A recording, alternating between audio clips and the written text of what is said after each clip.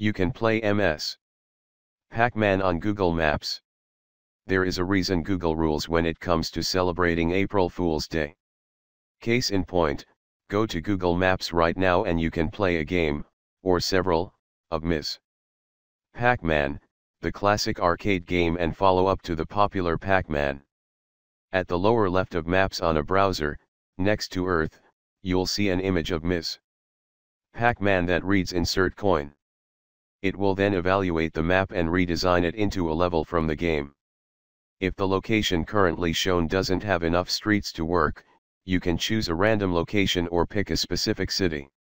Google's love of video games goes well beyond April Fool's Day. For example, search do a barrel roll and the screen will do a 360 degree turn, in honor of the classic Nintendo series Star Fox. Type in Zerg rush a nod to the Blizzard game StarCraft and you'll see several O's from the Google logo drop down and starting eating away at search results. Also, props to Google for choosing the better of the Pac-Man games. Seriously, Ms. Pac-Man was way better than the original.